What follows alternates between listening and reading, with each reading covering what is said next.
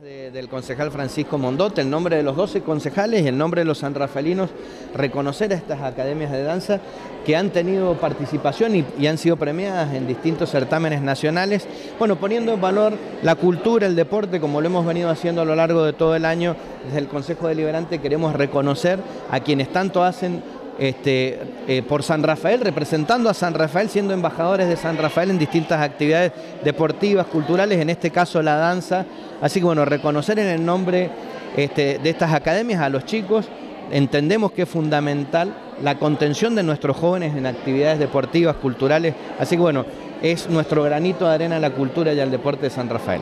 En este caso son tres academias y las distinciones a los miembros de estas academias este, que han participado de certámenes nacionales y que ya han tenido sus premios. Bueno, queremos en nombre de todos los sanrafalinos reconocer a nuestros chicos y a nuestras chicas este, que también nos representan a lo largo y a lo ancho del país. Eh, eh, eh, el municipio justamente pone en valor el desarrollo de lo cultural y lo deportivo porque entendemos que es la forma de que estén nuestros jóvenes contenidos y sean parte del proceso de contención que tienen este, en su proceso de desarrollo. Así que bueno, más que contentos y satisfechos. Este, los chicos practicando deportes, realizando una actividad cultural, están contenidos y son parte de un proceso de desarrollo. Justamente la comunidad organizada en la que tanto creemos nosotros, se se ve reflejado en las actividades y el de buen desempeño que tienen los chicos a nivel nacional y, y provincial.